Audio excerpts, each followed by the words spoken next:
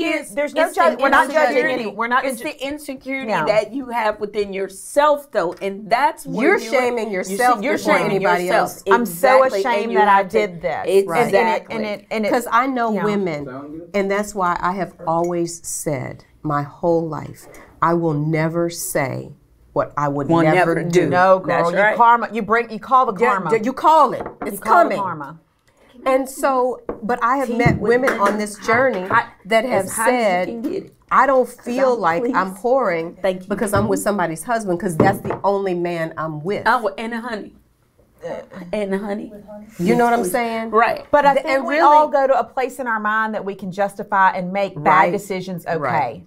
And I'm not judging I anybody. I ain't even judging Yeah. Because I've not worn those pair of shoes. I hear they And I don't wanna wear them. and I I don't don't, wanna wear want to wear them. But I think no matter what the activity, somewhere in our mind, whether it be addiction to drug or being with a married person, because men do this Or too, shopping. or Right. shopping, Shopping. or um, a pornography, whatever it is that we've convinced we can't, or we've convinced ourselves I can't live without it. We've also justified why it's to manage why it's Why okay it's to okay manage do our it. shame. And that's how you stay in it when you justify. You and that's justify why what I love about you, Lamia. I ain't got no justification. But you're you're able to own those real hard truths that most people want to just forget about.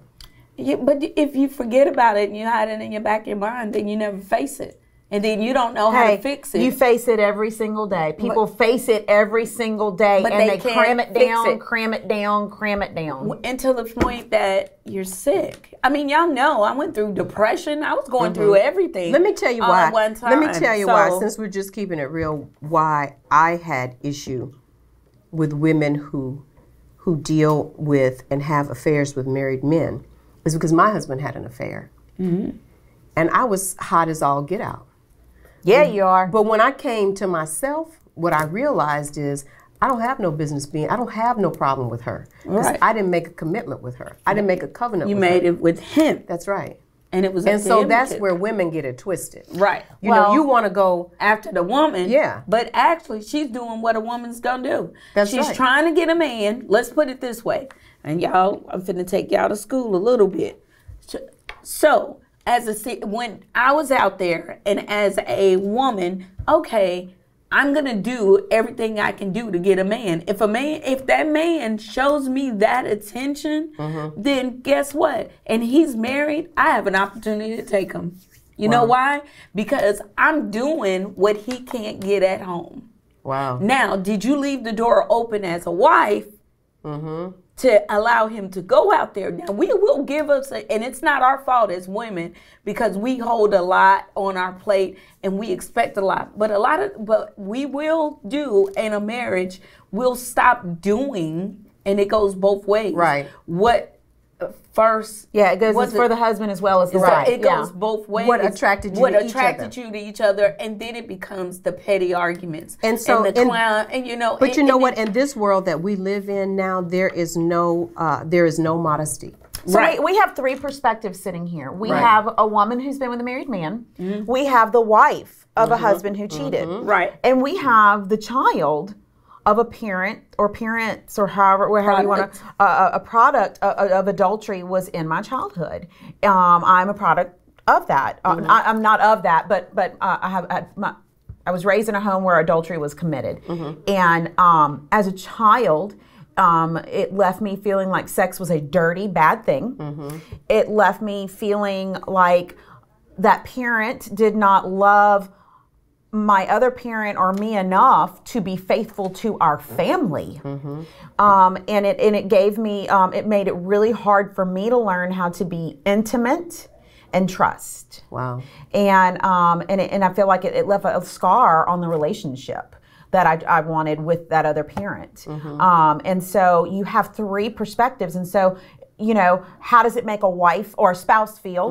How does the mistress feel? How does a child in that triangle feel? And I think it's a great perspective for us to think about. Um, and you know, as an as a parent, that as a wife and as a parent, you know, when adultery or, or cheating came ever, and not I I have not endured that in my own marriage, but one of the things that I, have That's never a blessing. That's a blessing. I've You know, never- this is one of those on-air conversations that we should. You know, we we ain't even on I it. know. We I just know. haven't- but we I just- let me- just- let me we just. This forgot is how we do therapy. This Let- is let our me finish therapy this sta- before the statement show. real Like quick, we're not even on air So yet. in a not in a not perfect marriage, we do Right. not have adultery as one of our hurdles. We do not, and we're blessed in that. But it is not a perfect marriage. And in a No not marriage no perfect. marriage is perfect. That's but in a not perfect marriage, I knew going into that. Although I've never said not in my marriage because anything can happen. You better not. Um, but in my marriage, I always knew how I did not want my children to see and feel about me. Because we all know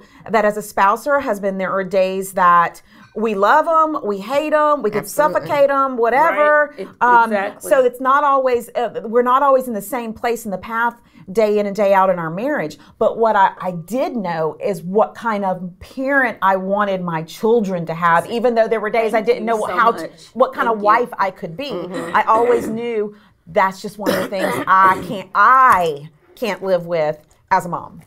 With my children seeing me in those eyes and Yeah. um, with those scales on their eyes, and so um, and that was my own baggage And as a I child. think I think when you can own it and you can say, I went through this in my marriage or I went through this in my life, that it really hopefully will bless somebody else. Right. You know what I'm and saying? That, and that's the whole purpose of the show. Right. Like to ensure that pe- people don't feel like they're the only one. And look, I will tell And- you this: and- I've and had I've had parents tell me, and I have had married um, women tell me, uh, or cheated on women tell me, um, you know what? You've never been divorced, and your spouse hasn't had an affair on you. Your opinion doesn't count, and you don't have a dog in this race. And I'm like, well, it's an opinion.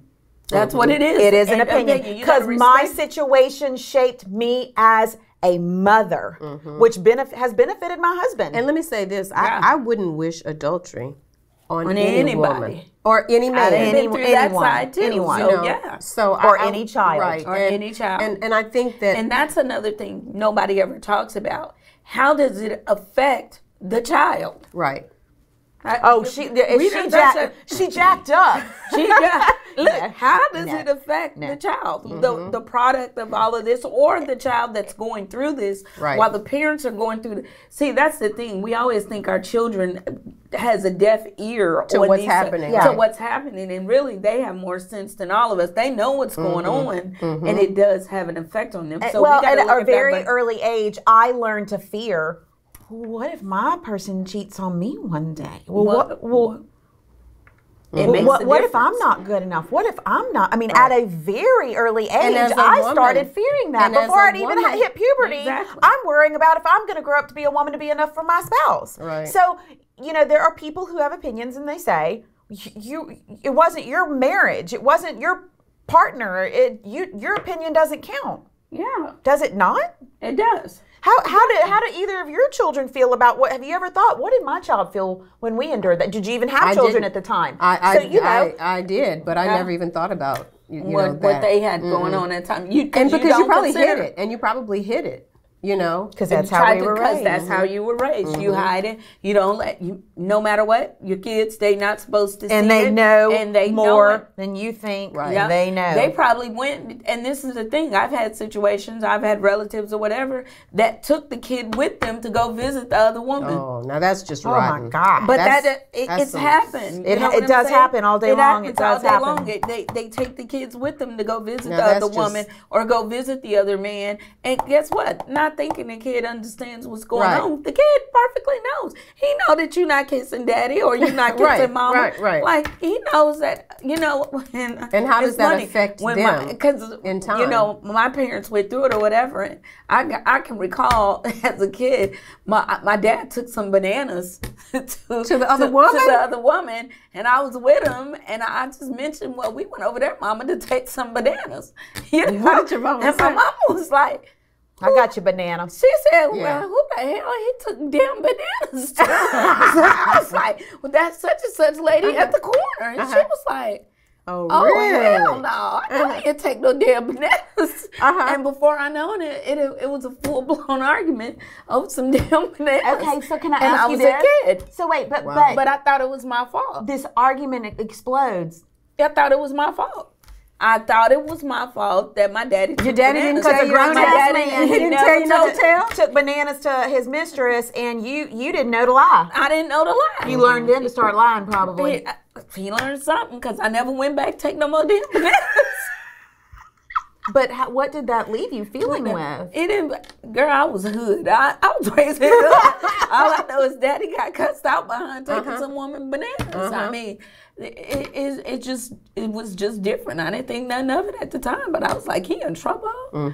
I think in today's culture, So- you know, people um, people just are so free, and society has said that if it feels good and Do it yeah, if it feels good. Do it. I and mean, we really have to be careful. But the thing Okay, is, you but got to be able to good, so this is- repent. this is If you decide you're going to do something wrong. It wrong, may feel good from anywhere from three seconds to 15 minutes, minutes. but, But what is about it the re- worth the rest your of your- spouse, your family, your children, your finances, your home? Was that three to 15 minutes, three seconds Now, to 15 minutes? Was it good? tell- was it that good? Now let me Was tell it that worth Now it? let me tell you this. I can tell y'all what I did. I did some crazy stuff in Oklahoma. Let me tell you. So you know, I went back to Oklahoma. I Uh-huh. dated this guy. I, I went back. I was like, hey, we're together. This and that. Now you know, I'm super good to him. Great, great, great. Super good. I, I thought I was.